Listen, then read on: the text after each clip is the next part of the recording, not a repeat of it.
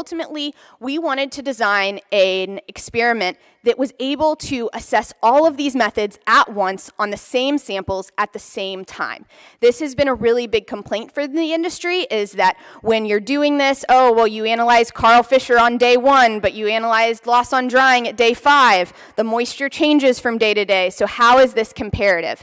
And that's ultimately what we wanted to eliminate. We wanted a true comparative study of samples the same day, the same time, analyzed across all five of these methods. So the goal was to analyze at least 100 samples. We ended up with 120 samples total for this experiment, and we analyzed them via all five of those moisture techniques. So Karl Fischer, which was the oven was at 100 degrees, vacuum oven, the oven was at 40 degrees, vacuum desiccation at room temperature, so 22 degrees Celsius, loss on drying at high temperature at 103 degrees Celsius, and loss on drying at low temperature 80 degrees Celsius.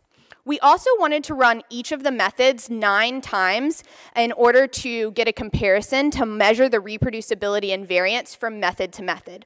One of the complaints we've heard in the industry is that some of these methods, you run them and your results change drastically from run to run across the same sample. So we wanted to see, are there any concerns for that?